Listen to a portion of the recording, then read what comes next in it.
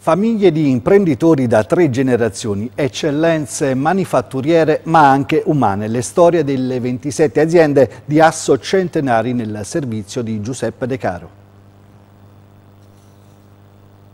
Dall'inizio degli anni 2000, 27 eccellenze campane che hanno alle spalle almeno un secolo di storia e di proprietà della stessa famiglia da un minimo di tre generazioni sono riunite nell'asso Centenari. Da un paio di mesi l'associazione è presieduta da Ugo Cilento, che è l'attuale titolare della storica cravatteria e sartoria napoletana fondata nel 1780. C'è una volontà di un cambio di statuto, quindi leveremo quello che è il vincolo regionale e eh, proietteremo l'associazione sul territorio nazionale. Quindi potremmo dare spazio a tutte le realtà che hanno i requisiti di entrare nella nostra famiglia. Poi abbiamo fatto alcuni convegni, alcuni premi come il premio Efesto che è un premio ormai di tradizione campana che premia quello che sono le eccellenze del territorio. Fra i centenari figurano realtà che operano in diversi settori, dalla moda al corallo, dal marmo all'aceto, dall'ottica alla gioielleria fino alla ristorazione. Segreto della longevità è puntare sulla qualità anche umana e della longevità aziendale si sta occupando un apposito